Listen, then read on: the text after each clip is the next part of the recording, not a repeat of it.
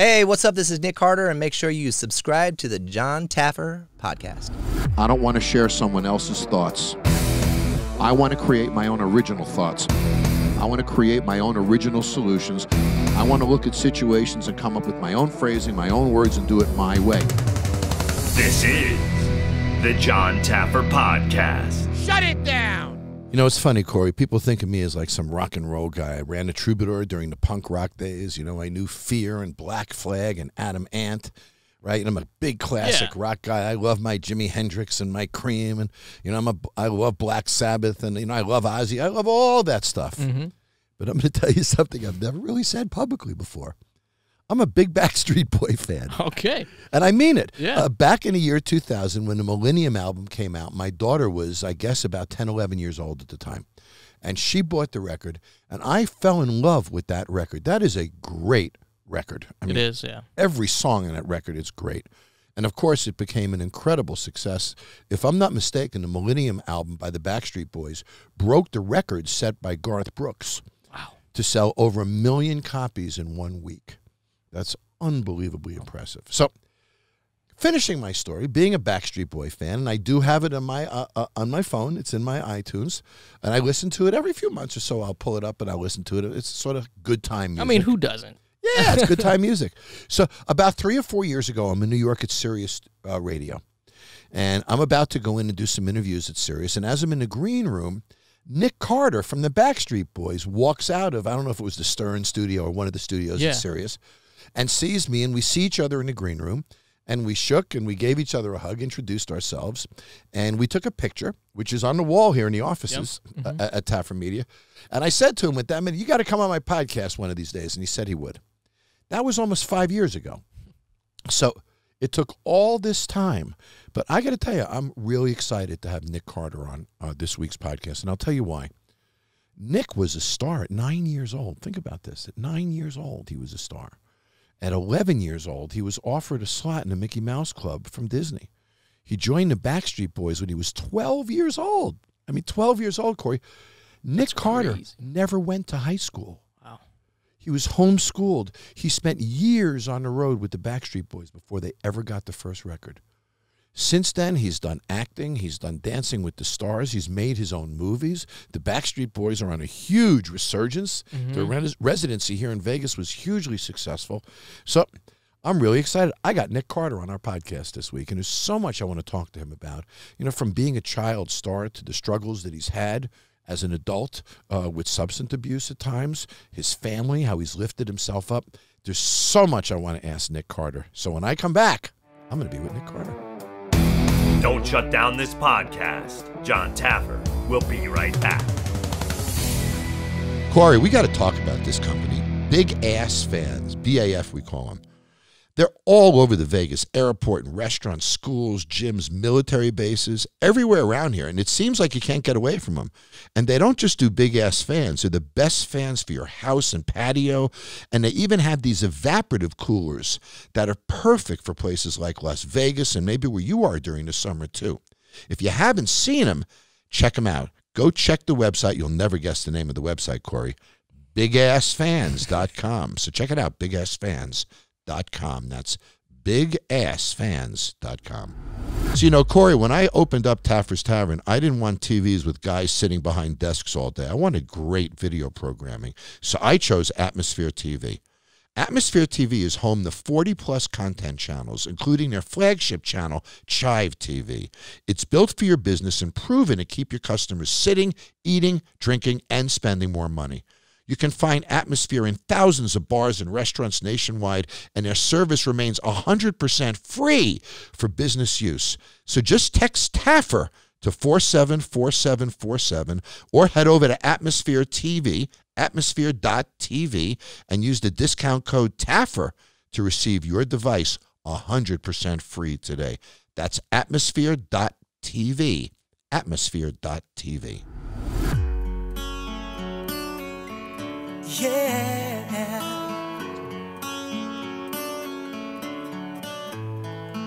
are my fire, the one desire. I couldn't resist, Nick. That's a great song. I had to play it for a minute, and I see it did make you smile. now, truth be told, I'm a true Backstreet Boys fan. I truly am. I love the record Millennium. I listen to it to this Really? day every few months. I do, Nick. Wow. Thank you. And and when we met in in the studio that day, I was thrilled to meet you. We stopped, we shook hands, we took a picture. We sort of passing by in the night. Mm-hmm. yeah. And I said to you, "Would you do this and come on my show?" And you said, "Yep." And you walked away. Five years later, you're a man of your word. I did, I did. Yes, I came through. It was so funny because um, you, uh, I, I, coming into the studio, I, I saw the, the picture on the wall, and you reminded me, and I looked at it, and I said, and I, I remembered the jacket because you had this really like uh, explosive blue jacket. It was nice. You look dapper for sure. But I was just like, and I totally remember that entire situation. And I did. I told you. I said, yeah, I'll be on the show. Yes, and. Uh, uh, five years later, a, a Backstreet Boys residency in Las Vegas, now Yep. where I live, and all these other things, and we we didn't get a chance to, to see each other since then. That's crazy. No, and you guys invited me to the residency, and I can't Yeah. believe it. Again, as a huge Backstreet Boys fan, Yeah. I was on a road at the time. But welcome, buddy. Thank And, you uh, for having me. Thank you For you. all my listeners, I have the opportunity to spend some time with somebody who I find fascinating. I find your life fascinating, Nick. Thank you. Uh, And, and you know, uh, uh, uh, starting with, if you will, uh, the Yankee Rebel. Uh, you know, so it ties in with the uh, the the the shows with you you and everything, the and whole yeah, farm li- thing. so little history on that. Um, there was a. I'm from Jamestown, New York. Yep. That's where I was born.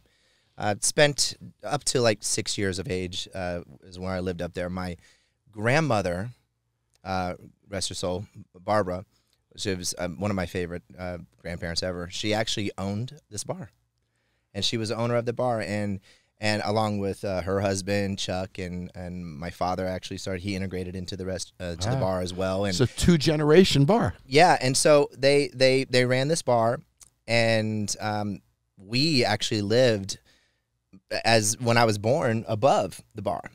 So there would be, my dad was like the DJ. He was he was always downstairs spinning records, and there's even like pictures of you know me with like his headphones on and just you know the old vinyls behind him and everything like that. And I was always hearing music in the bar uh, up above in this little apartment that we lived in. So do you attach that? Because you were very young. This is when you were very young, correct? Yeah, I mean, uh, between I don't know exactly when it was that we lived there, but it had to be between the years that I was born and Yeah. to, to six. So do you think it, it, it created your affection for music, your desire to be involved or hear more and play more? And You know, I, I I would like to say that one of the things was that my my parents and my father like music was, was always around us. You know, when it came to like literally, he took those those vinyls, his set of vinyls, and brought them down to Florida where we moved, and and I never forget like looking through all. I like I found it fascinating to be, you know, it was always about this the art that came along with the vinyls as well, and like I would be flipping through Yeah, them, the you know, and always yeah. looking through them and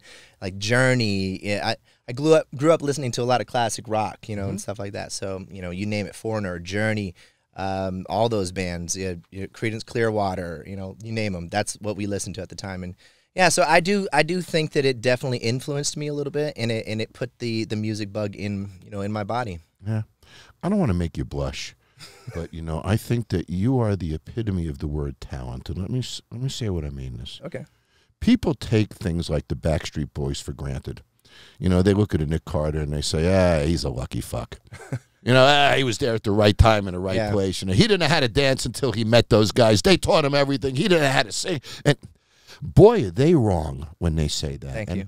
And you don't become a household name for no reason. And I look back at your life, and you started dancing at what age? So I started uh, dancing and singing um, probably around like 10, 11 years of age um, in Tampa, where we moved down from upstate New York, Jamestown, and uh, got into this like like classic uh, teacher who taught me a lot about just basically classical singing is what I did, and um, you know you name it, like on the piano, doing the scales and all those things, and and then I started to get into dance class. Uh, Carlin DeMarco was a really uh, you know influential uh, piece uh, to my development as far as like uh, entertainment goes and talent. And Sandy Carl gives so much credit to her down in Tampa. Um, and it's funny because I I, I I'm a huge Buccaneers fan. I look I, li- I live in Vegas. You Yeah. know, there's a little bit of a conflict. You know, I'm Yeah. like so far away, and uh, but a lot of people don't know that I actually um, I performed at the half times at Houlihan Stadium For two uh, seasons, for, right? For two sta- Yeah. two seasons when I was like 11, 12 years old, right before I met the Backstreet Boys, and I was a part of this whole dance troupe called Nick and the Angels. I was and- just going to say you. You. bust- I was just going to say your first group really wasn't the Backstreet Boys. Your first group was. It was Nick called the Nick and the Angels, and and and because Sandy Carl was an actual, she was um, the choreographer for the the the Swashbucklers at the time, which were the cheerleaders.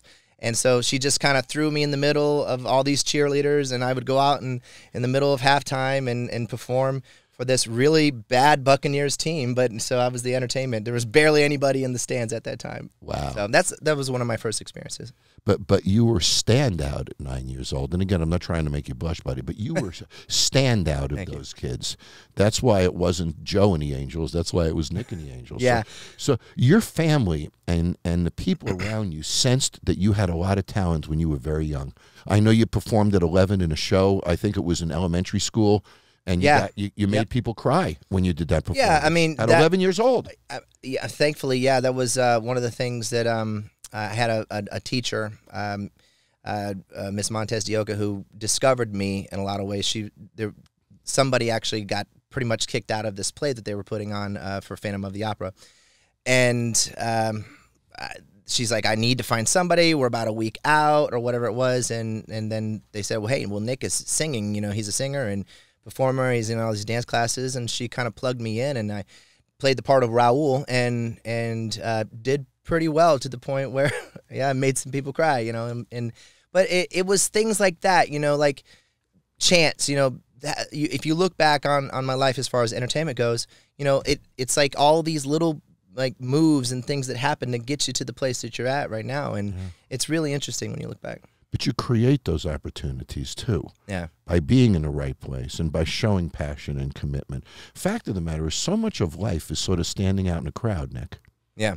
You know, and, and when you were 9, 10, 11 years old compared to the kids around you, for some reason you stood out in the crowd. You know, you had this talent and you had the confidence to get in front of people and do it. Yeah, it's it's it's hard. You know, I say, um, you know, right when I met the Backstreet Boys, um, which was around 12 years old, 11 and a half, 12 years old when I met them. Uh, another story too that uh, I was doing a lot of things. Kind of started heating up in Tampa and in Florida, and we uh, we would travel. My mom and I would travel all the way to um, Orlando and do auditions and stuff like that. And we ended up uh, doing two auditions, I think, uh, two days in a row or whatever it was, and we stayed up in Orlando, and one of them was uh, for the Mickey Mouse Club, and you know. I, I just remember things kind of really coming together. I was a horrible actor, so I was trying to do acting as well, and I realized to this day I'm a really bad actor. Are you? Yeah, I'm really bad. And so I leaned a little bit more into like the singing, and I was passionate about it. And um, yeah, so I got offered a contract uh, from the Mickey Mouse Club, uh, and they put it right in front of me. It was like a fifty thousand dollar contract for a, literally a, a, a, a family of five, and uh, you know, pretty much I would like to say middle lower income sort of A lot of uh, money. yeah, a lot of money, and uh, we turned it down. And I remember uh, a year later, because I basically had the Backstreet Boys and that contract offered at the same time. I took the Backstreet Boys, and I, I told my mother t- at the time, I said, you know, um, I- think I'd rather try this long shot called the Backstreet Boys and see what happens. And then a year later, Mickey Mouse Club was no more on on the on Uh, TV. On TV. Anyway, she made the right call. Yeah. But was uh, uh, uh, your family really supported you in that choice? Uh, y- you know, it's interesting. You leave a, ch- a choice to a you know, eleven Year you know old year yeah. old child. Um, it really was my choice. You know, they they said at the time, he said, "What what would you like to do?" You know, and I and I made the choice. And um, looking back, I'm I'm happy with it. You know, I I have a of a a, a family of four other brothers who I love, and and we've been together for almost thirty years now. Unbelievable. Almost thirty years. Okay, so now you're 12 years old. You're suddenly in the Backstreet Boys, Mhm. and you're rehearsing and you're training for the Backstreet Boys.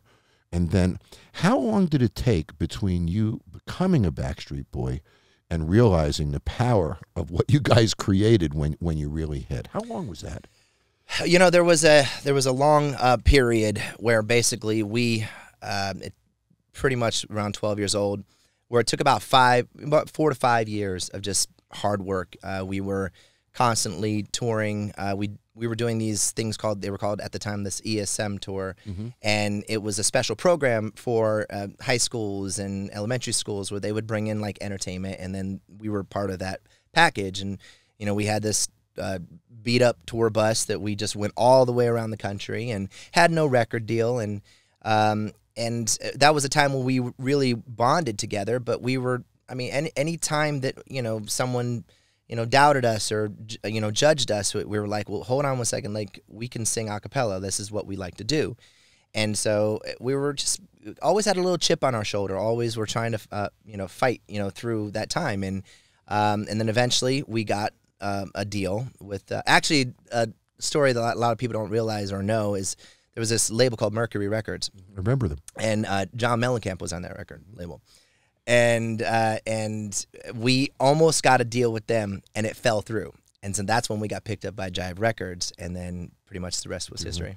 So it was four to five years of busting your ass on the road Yep. before it really happened. Oh yeah, I mean you're talking between the age of like 12 to you know 14, 15 years old, and even at that time, um, we weren't accepted. We had to go over to Europe, and Europe was the only place that really uh, was because uh, during that time. Rap music had just come out. There was like, uh, you know, Snoop Dogg. There was Nirvana. There was, Yeah. and they. It was pretty much on the tail end of like the whole Milli Vanilli thing, and Yep. then the New Kids on the Block had just kind of taken a hiatus, and and so really there was no place for for you know a singing group at that time, you know, of our caliber. So So, we so we jumped on a plane and we went all the way to Europe and Wow. and just pretty much spent you know two years breaking over there and that's and then we came back so i was I'd like to say i was around you know 16 17 years old before uh, we really hit in the states Yeah. So you missed high school. oh yeah And you think about that. So, so really, your high school classmates were the Backstreet Boys. I mean, it Yeah. was you guys together at Mhm. that age. Yeah. Now you're the youngest. Mhm. Um, what's the age difference between oldest and youngest in the Backstreet well i'm, I'm eight years uh, from the oldest Gotcha. Okay, so so you guys were, were have a at that age were really close enough to, to really become brothers. So you get along really well now, don't you? Absolutely. I mean, we just got together for a. Uh, uh, you were just asking earlier for a special uh, occasion that requires recording some music, and so Which and you're that not was allowed to speak about. I'm, I'm, I like to speak a little bit about it. and I don't mind. They can get mad at me. Uh, It's it's a it's a holiday uh, record uh, that we're we're working on right now, um, and uh, we hadn't seen each other in a um, in a year since COVID started. Wow. It was an entire uh, Yeah. maybe a little bit longer than that. Yeah. Are you going to come back to Vegas for another residency here? So there are some plans. There's some tie-ins with some things that we're working on right now. Uh, we'll have to get you back over to that concert since you missed the DNA World Tour. Or actually, not that. This is crazy. Like I literally called. We were on tour. It was called the DNA World Tour. Yeah. We were all around the world. Uh, we were doing our second leg in the United States. Another 50 shows, and that's when COVID happened. So we had to postpone that. We pushed that tour to next year, 2022. Uh, but right before that, we had the larger than life residency and and that was I mean it was the fastest selling residency. It's ac- Unbelievable. it actually uh, it literally made my family, my wife and, and my child at the time, Odin, who was only two years of age, move to Las, Vegas. Vegas. and that's where I am here now. Yeah. So you're a resident, as am I. Great city, isn't it? I, I'll tell you, like it's so funny. Um, I got to give a shout out. There's this little place that I found right off of Spring Mountain called Gabi. And, and have you been to this place? No. incredible. It's like got all these like pastries and these specialty coffees and crepes and all these different things. We it was like a little hole in the wall, like, and the reason why I'm saying that is because a lot of people think of Vegas as this strip, right? Right. And they're saying, well, you know, I go there three days, I'm out. You know, Yep. I move here, I find all these mom mom and pop, you know, shops and, great. and restaurants Yeah. And and they're not trying to franchise. I'm like, it's one of the most incres- incredible places for culinary and all these things. So I love it. It's Yeah. really incredible. You know, it's funny. People think there are blinking lights outside our bedroom window. they don't realize. Yeah. You know, we live in beautiful neighborhoods, just like other cities have, and and uh, Yeah, I absolutely love Las Vegas. I fell in love with it. So, you know, you broke a number of records, and I used to run the Troubadour years ago. And when I ran a Troubadour years ago, the Knack came in. It was a huge success. Remember the Knack, My Sharona. Oh yeah, of course. A- And uh, My, my, Sharona. yeah, great monster song. And I'll never forget when I was uh, running. I've never seen a, a, a song do what that song did back then. But I remember their record outsold Meet the Beatles, and it was a big deal then, you know, that, that they would have achieved that level. Yeah. When Millennium came out, you created a record. You guys beat Garth Brooks with over a million units in the. Yeah. U.S. alone in the first week. Yeah. It was a big it was a big launch for us and it was a very special moment. We had just come off our Backstreet's Backstreet's Back album, which had Yeah. a, a lot of great songs. Quit Yeah. playing games, Backstreet's Back, or everybody and all these songs. Um, as long as you love me. And um, at that time we uh, you know, we jumped on a plane, we went back went over to Sweden with Max Martin, started recording all these songs for the next record. And we felt there was this anticipation that we felt like uh, this could be really big, you know, and you know, but how big is it going to be? And then, then it became this whole thing, you know, where ba- people were trying to break records, and and then these uh, these records were being shattered, and then Yeah. they were starting to emphasize it a little bit more, and we're like, we started talking internally, and we said, you know, do you think we'll be able to do it? Because it really was based off of pre-sales. Right. Everyone was like, "Well, it started Like with a the pre book. yeah." So the pre-sales really set it uh, set it up, and and then we kind of started getting the information in as we were getting ready to launch. You know, weeks out, and they're like, "We think you're going to beat the pre-sale. We think you're going to beat Garth Brooks." I'm like, "Are you kidding me, Garth Brooks? Like, like that? That's these are people we grew up listening to and loving. You know, and and we're about to break their records. So." You know, it, it's definitely a, a those are special uh, milestones and, and things that we'll never forget. Yeah. You know, it's interesting. Celebrity was a little difficult for me when it hit me. Yeah. Now, it hit me later in life, right? I never thought I'd be on TV. I never thought I'd be a celebrity or have fame, all that. You know, I just wanted money. I was focused Yeah. on just making money when I was younger. And it took me three to four years to even just get comfortable in it. You know, because I think celebrity is sort of above what I sometimes think. I just think I'm a regular guy. You know, Yeah. sitting with you, you and I are regular guys. Right. But you've had celebrity from such a young age. You've never not had celebrity in your adult life. Yeah, since I was 12 years old. I mean, I, I mean, it really didn't kick in until I was, you know, like I said, right, 15, still in my teens. Yeah. Um, and you know, it is definitely um, not easy. That's for sure. Pressure. and, and it's pressure to to to maintain to be perfect. And um, but you know, you're you're learning on the job, and and you're growing up as a teenager, and you know, and um, you know, learning about life and everything. So yeah, it, it's it's one of those things that you, if you're thrust into it, and and you don't know anything about it, you know, you're you're trying to just basically cope with it. And but you know, now I've gotten to a point in my life where you know, you know, I, the beautiful thing is that my three children and my wife ground me more than anything. Um, and you know, knowing that you know I have a two month old baby girl and you know a two year old uh, baby girl and, and my five year old who's literally going to school here Yeah. in in Las Vegas, you know, and taking him to school and you know all of these things that I think once once I realized that celebrity is not important and I don't care. Like I I could literally lose it all. It doesn't matter to me. What matters most to me is my children and, and phone calls, literally on uh, is my children and um, you know just providing for them good education, um, being there for them, being present, being a father.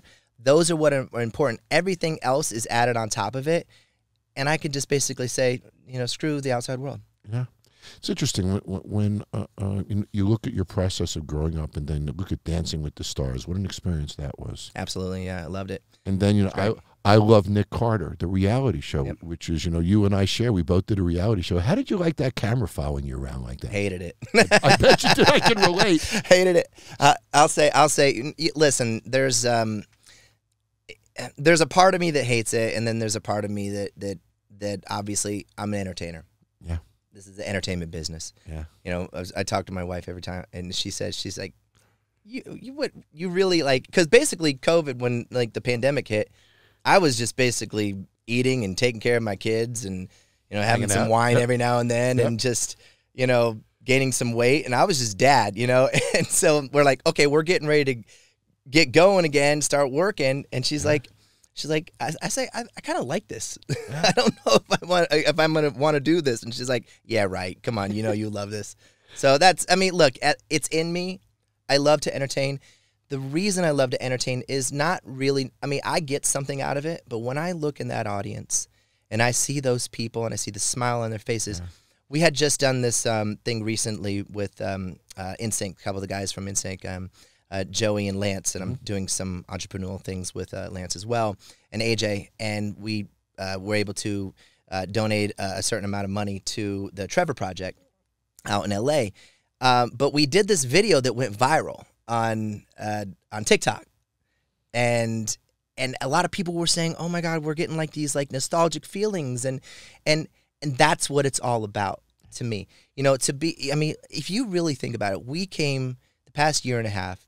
We have come out of such a dark time in a society, and I feel as if people are wanting entertainment again Big time. they're you know they're wanting all these things they're want and we're we just want to be a part of that story. Yeah. to be because when people are at a Backstreet Boys concert they're if they're at a Nick Carter concert um, if we're doing entertainment your show that you do is one of the most entertaining shows ever you know? And and that's our job is to lift people's spirits and to give them something that can help them detach Yeah. from reality Yeah. and that's what I love about being an entertainer And it shows. It shows, Thank buddy, because you know you, you guys are having a lot of fun up there. absolutely Yeah, there's no question.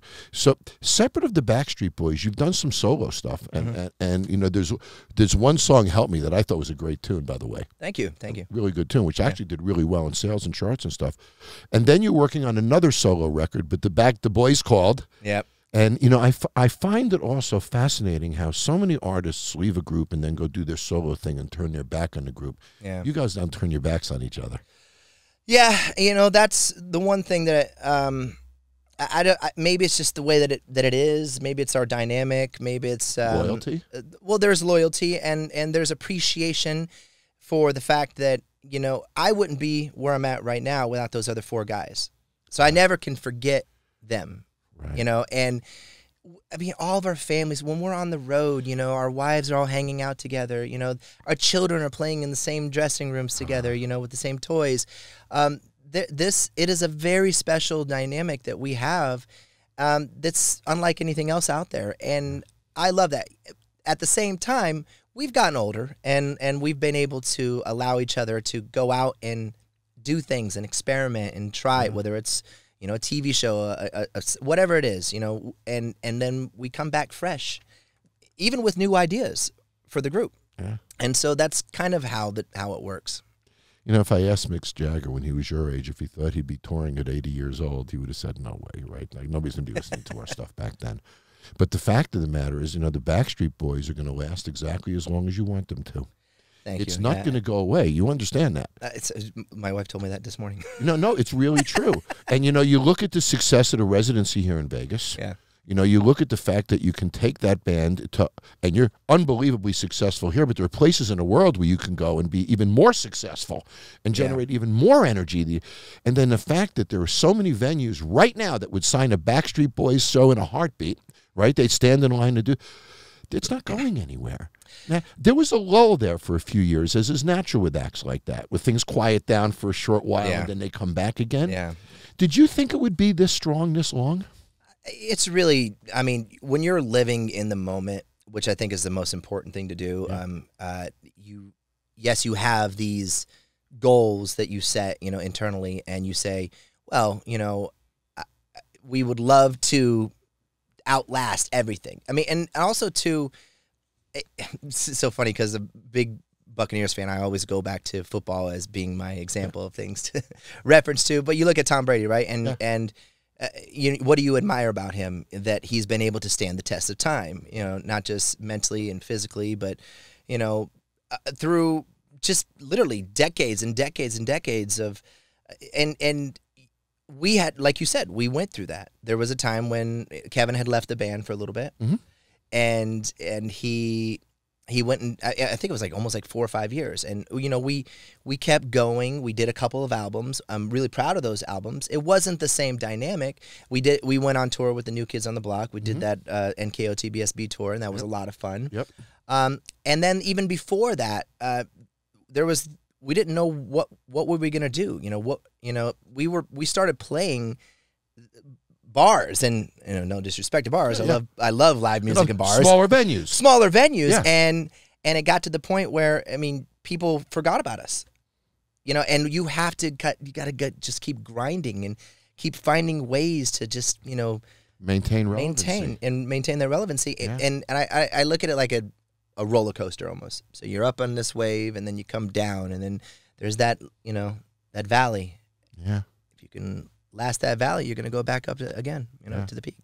Yeah, R- Richard Nixon, believe it or not, once said, uh, uh, "You don't know what it's like to be in the highest mountain until you've been in the lowest valley." Yeah, yeah, and That's it's true. true. Yeah, it is, and it and here's the thing too, the the respect and appreciation for, you know, understanding that it can all go away, and you can lose it all, Yeah. and the value of that and appreciating that and respecting it, you know, there might have been a time when we had to learn that Yeah. you know and so now that we're i'd like to say we're kind of floating uh, at a nice high level um, you know we we just want to make sure that we when it comes to everybody around us the people that we associate with um, you know everybody has a has a voice is there's a person out there who's working hard for you you know just showing appreciation to everybody around us and and realizing um, that i think is has made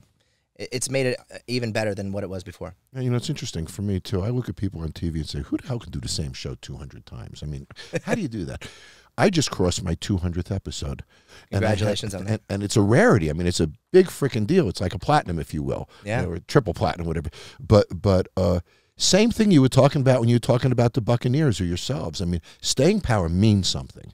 You know, It does. lasting a long time means something. Absolutely. And you think about a lot of your peer brands that were blips I mean, came and went. You know, a lot of one hit wonders and stuff. But you know, the staying power stays with the talent. But Yeah. you fascinate me because of your depth of talent, Nick. And, and you know, you are a classic song and dance man, if you will. yeah, You are, and you, you have a great love for both of that. And but you also write music. You know, you produce your own music. Were you married when people made you one of the fifty most beautiful, or were you still single then? I was single. You were still single. Imagine this to all single men in America. Imagine being voted People's Magazine's 50 most beautiful. Was it people or men? I, think it was teen people. Teen people. Okay, still great score. Great score. So, so and and I think it's un, I, I think what people have to understand what's in my head and when I and I appreciate it and I thank I thank people for that. I, I don't ever look at myself that way. You know, I I try to maintain and realize that. I mean, there's times I'm, I'm I'll talk myself into, into something and say, "Oh, well, you look good today, Nick." You know, then I'm like, "Oh, that was really stupid." Why would I say? I because I'm just Nick. Right. You know, I, I'm just uh, I'm a normal guy, um, and you know, I just try to look and be the best I can be. you know, it's interesting. I mean, I've always felt that success in entertainment comes from authenticity. Yeah. I've always felt that's true. But, you know, things have not always been so easy for you. Mhm. You know, and you have had some struggles over the years. But what's unbelievable is is uh, uh, how successful and how you've dug out of it so much. Yeah. And I know Thank that you. that you drank a little when you were very young, Mhm. which was obviously not a great thing to have happened. But you know that could put you on a difficult path. I know you've had some issues with that, and I think about all the friends that I have had over the years that have had the same issues that you had that did not pull out, buddy. You know, and weren't able to be successful. And I, I wrote down yeah. a name of a book that I was reading in your bio. Why some positive thinkers get powerful. Yeah. Now you were at a low point in your life, Mhm. and and your friends, I think it was some of the Backstreet Boys, right? Yeah, it, it was Kevin. It was Kevin, gave you this book, Mhm. and you went and you read it. Mhm. What about it changed you? Because it really Well- was profound. When I read about you, it's had a profound impact. So the, the the author's name is uh, Norman Vincent Peale. It's a very old book. You know, there's some some things in there I think that are classic. You know, as far as um, recommendations and things. You know, things that that it might not work for everybody, um, but I was able to to take pieces of that book and some of the words that he had written and apply it. You know, to to my life and to who who I wanted to be. And one of those was the uh, the value of belief, you know, of God, Eh, and that was something that was important to me. You know, that he he he focused on too, as well. Having having a higher power, or something that you can, you know, look to um, and and talk to, and um, that was one thing. strength. A source of strength, yeah. Yeah, I mean, listen, I'm not, you know, preaching anything or pushing any. I, I kind of believe in everything. You know what I mean?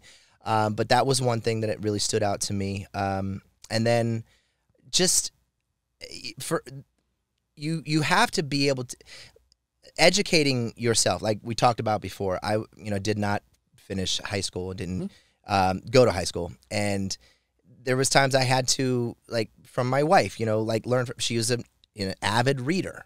She had this huge book collection in her house. When we got together, I literally started picking out her books and started reading and educating myself. So those were things that, and so that was one of those books. But I felt, you know, reading books I think is so important. You know, and and finding a way to, uh, you know, add stuff to your toolbox Yeah. that can really help you later on in life. No one's perfect. We all know that. I'm not perfect. I've never you know, proclaimed to be that, but I've always tried to to um, learn more and better myself. And that's pretty much what it was. And and you know, Kevin and all those guys, I have always connected with those guys. Two of the guys from Kentucky, you know, they they're they're Southern boys. Uh, you know, uh, AJ and all of them have become a part of me, a piece of me. And they became my family, and I love them for that. They would probably say the same thing, wouldn't they? Yeah. Yeah, that's really a remarkable thing. So, you are a passionate filmmaker. Bad actor, but passionate filmmaker. Yeah, yes. So you're, you're really into writing and, and working on screenplays and stuff.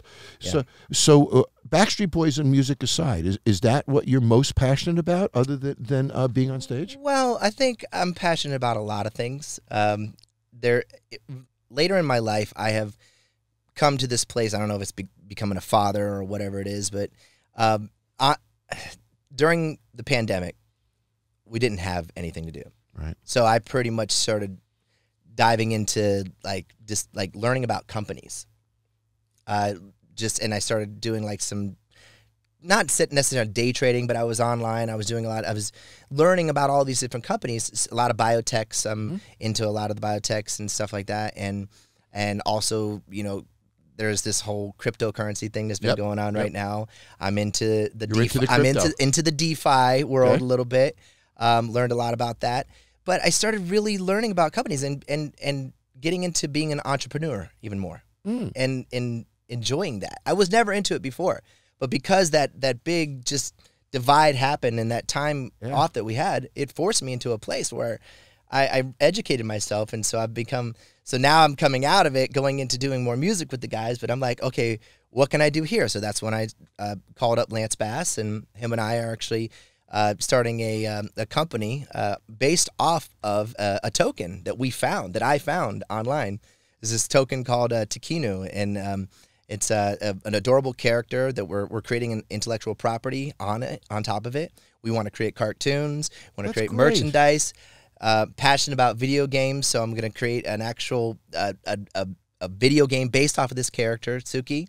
And so we're in the middle of that. And but what's really cool is that the whole DeFi is involved in it. So there's this token that's sort of like underneath it all, and um, that's really cool. Uh, I love Lance. I've been in Lance's home Oh, because really? because I've done his podcast with him.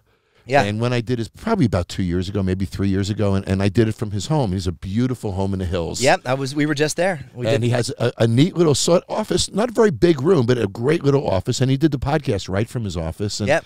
And I, I love him very much. Please send him my best. I will, and you know, uh, this leads into another thing from the uh, entrepreneurial side of things. Um, the we went to Rocco's, his club, you know, Yeah. uh, Which is club doing well, I hear. It's really doing well, and that's where I think that was the first night. It was after our event that we did. So Lance Bass opens a bar and doesn't call his buddy Can you believe and it? say, "Can you help me on any of this?" I, know- he's gonna hear this. He's gonna be like, "What the hell, Nick?" Yeah, bust him for that. Set me up. Yeah. So we go there, and it was a great experience. Great. You know, we had a lot of fun. It was, um, and and that was one of the things I was talking to him about. I'm like, you know, I really, um, I love live music. Um, I love live music that's played in bars. Me too. I'm I'm really passionate about it. Maybe that stems from the beginning of the conversation. You know, uh, Can I my say so- something will shock you? I have the only patent ever issued by the federal government for the designing of music to achieve a desired ambiance in a hospitality property. wow, 25 years ago, I created a company called Music Plan. wow, And the concept is you got a business plan, you got a marketing plan, you need a music plan. yeah, It's so, true. So I took a computer database and I paid a bunch of DJs uh, a lot of money, and it took us two and a half years to put at the time 57,000 songs into a database. We categorized them by beats per minute key.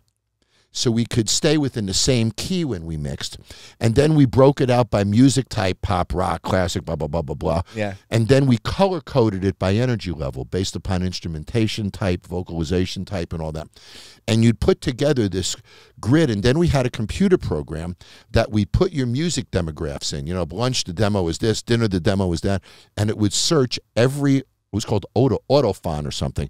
Every record on every album in the world, and it would print up the 900 songs that you need on as few discs as possible back then. Wow. And then, so hotels and all these companies, we had thousands of clients.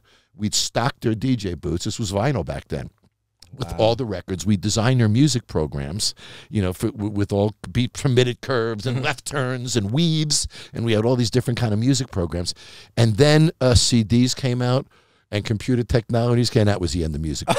playing. S- s- but, but it was great for a few years while it lasted. So, so when you say that, buddy, I'm with you. I get it. You know, you can Yeah. take, but you know this is a Backstreet Boy because you can take the same set, change the order of those songs, and it's it's not like you're the same band. It's unbelievable the difference in energy and pace. Oh yeah, there's nothing like it, like what live music. And you know, I going back into what I was saying, I, I have aspirations to you know start a bar maybe someday, and and and really focus on putting like a really great uh, stage in there, you know, and ha- have it be something. Maybe you should help me out with that. I'd love to help you out with that. So down in Key West, uh, actually. is, or this is the city to do it. See, Key West too, but Key yeah. West is great. You have a place in Key I West. yeah, we're actually um we have a place down there. We're actually building a house down there, so I love it. We're, we're boaters. We go out. all- My wife's been a master diver for years, and um you know, so kids love it. They love playing in the sand, and we go out to all the reefs. I don't know if you've been down Yeah, there, yeah. but you know, really, really uh, integrated in, into the community down there, and I, I love it. You know, and um doing a lot of I what one another thing too in my life. i you know, being a parent is I'm focusing a lot on like a lot of philanthropic things. You know, doing things. Um, and out here, especially, uh, I was able to connect with uh, Cure for the Kids.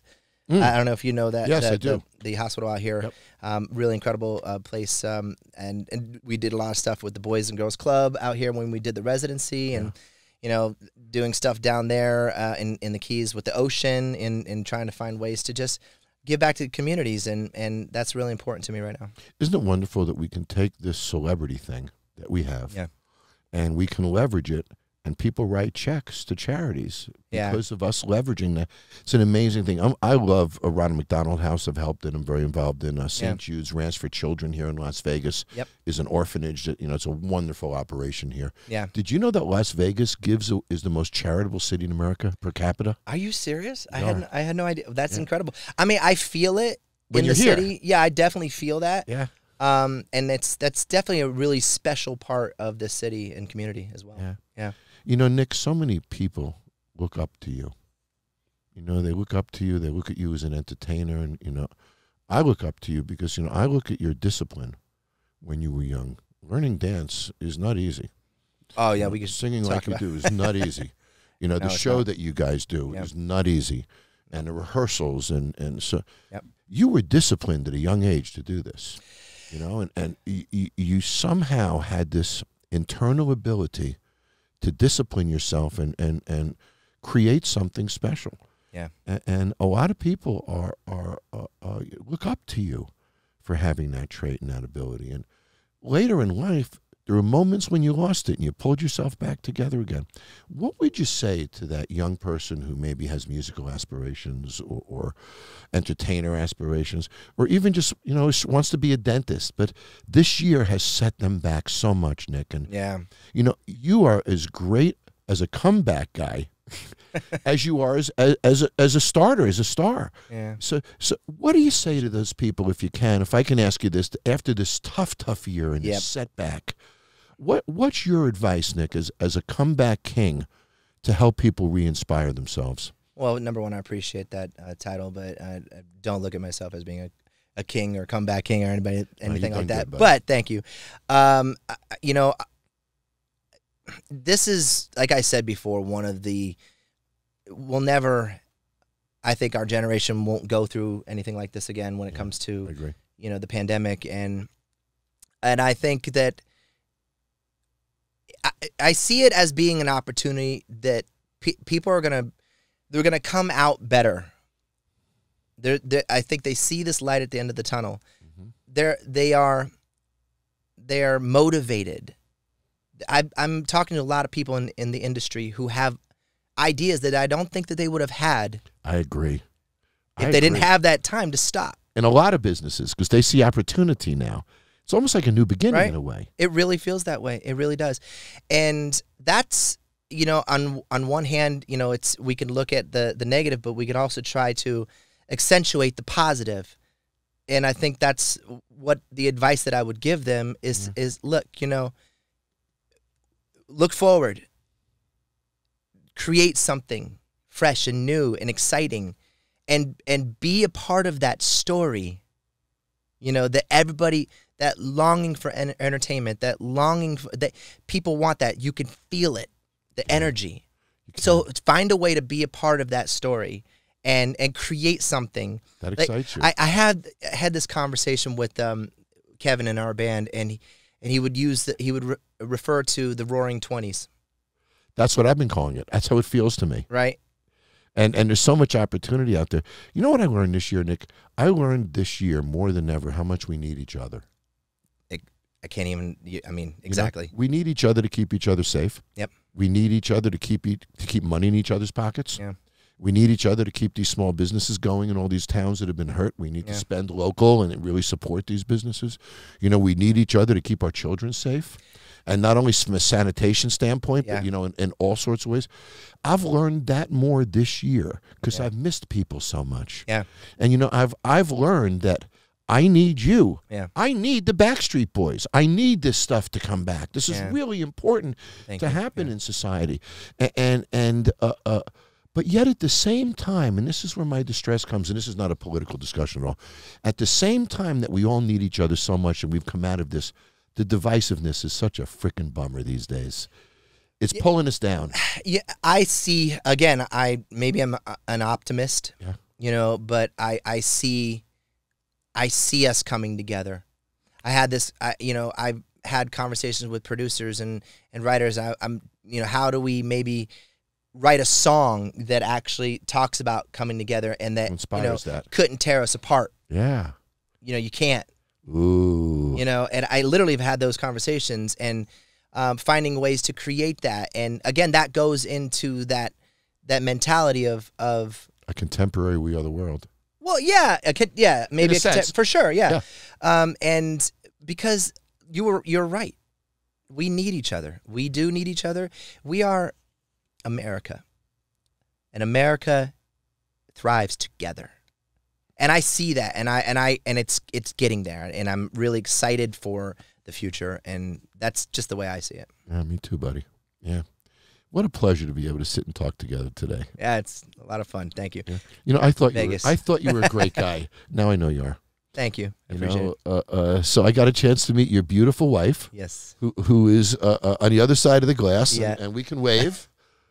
hi Does she want to say I hi dragged for a her. second? I drug her in here. No, she, She does well. Okay, she's but- fine.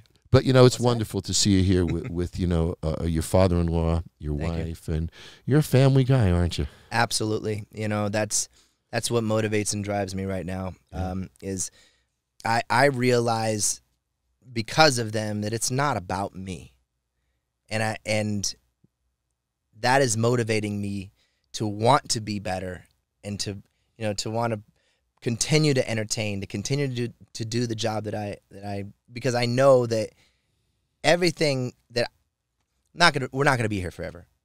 I'm gonna die someday, you know.